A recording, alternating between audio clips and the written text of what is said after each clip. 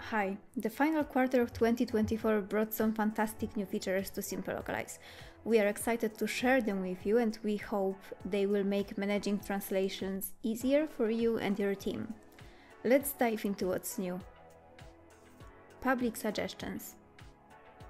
Get feedback from your community and let your users help you with the translation process. You can now enable public suggestions to get a public link which you can share and get suggestions for your translations.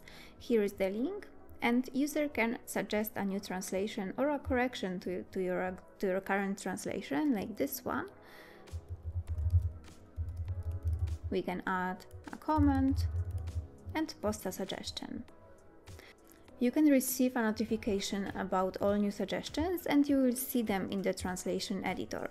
When we open the translation key, we can find it in the suggestions tab and we can apply it in a just one click.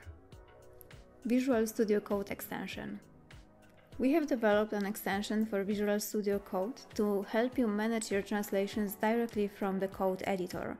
To install the extension, uh, head to our documentation for the link or search for SimpleLocalize directly in Visual Studio Code, install the extension, and once it's there, configure the extension, uh, first step is to generate personal token.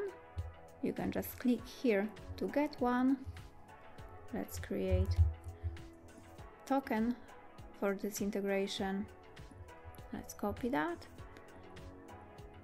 Here we set personal token right now we choose the project that should be integrated with um, with with this uh, with this project. So let's choose this one and that's it. Now you can see all your translation keys. You can manage them and synchronize directly from your code editor with SimpleLocalize translation memory.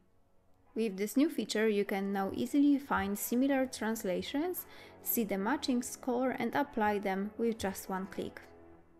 Email notifications head to your profile to set up your email notifications. You can get notified about new comments, comments mentions and new public suggestions.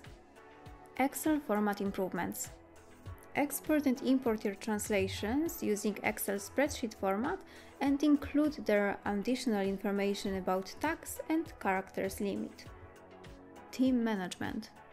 We have improved the team management section to make it easier for you to assign users to different projects. You can now manage access of a user, assign them to different projects and manage their permissions per project from just one place. Automations. We have added a new option to the automations feature, so now it's possible to publish translations after auto-translation job is finished. It will make it easier for you to automate the whole process, from adding translations, automating them, and then publishing to the desired environment. Okay, that's it for today. I hope you like the new features, and if you have any suggestions or feedback on the new features or the existing ones, feel free to reach out. Thanks for watching and Happy New Year! Bye bye!